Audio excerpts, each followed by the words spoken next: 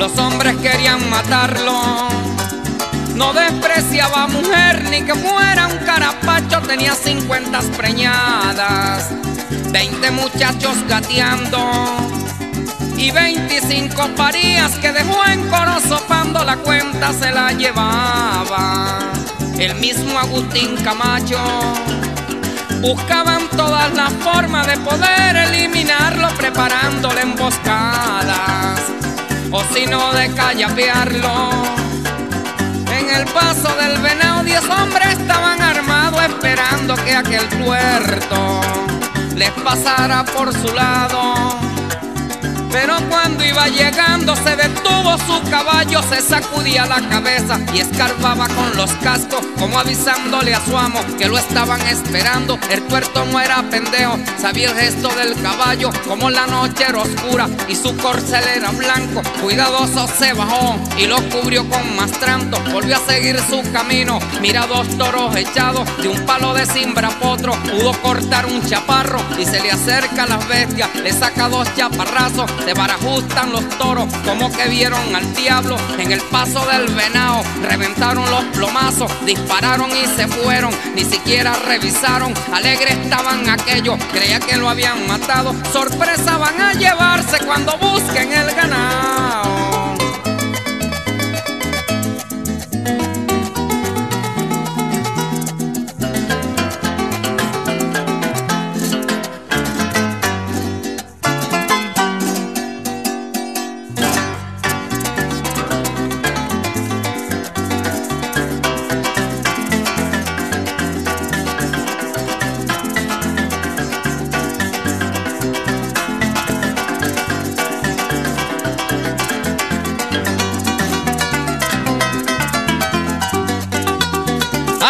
No importa que la cuerda se reviente, que mañana le montamos de alambre púa, viejo.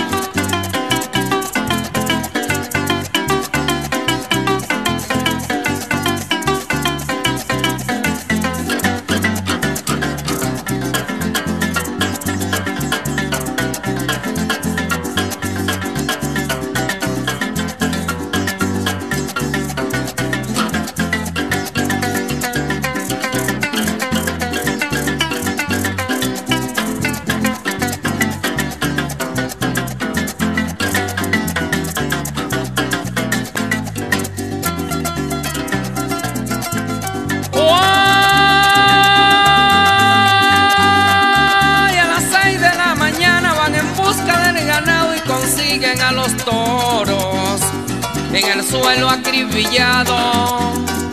La noticia viaja rápido, oído de don Carlos que anoche le disparamos a los toros del rebaño. Que el tuerto José Domingo anda vivito y coleando, don Carlos se pone serio, aprieta duro la mano. Van y buscan esos toros, le ponen a preparar lo que esta noche haría una fiesta en el pueblo del Guayabo. Le preparan esa trampa con los músicos armados. José Domingo era un hombre, mujeriego acostumbrado.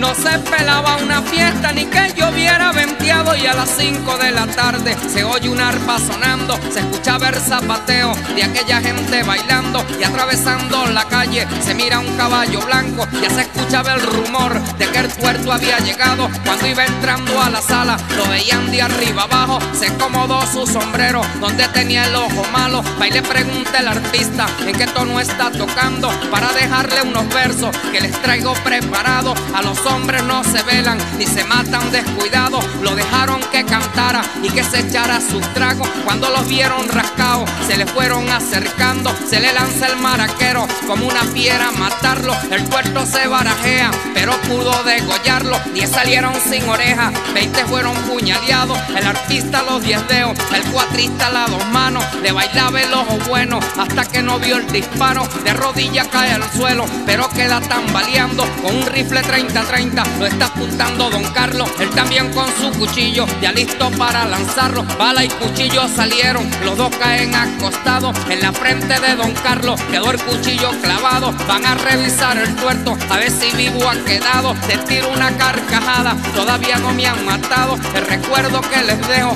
son los muchachos regados. 95 engendré entre campos y poblados. Nacieron igual que yo tuerto y del mismo lado.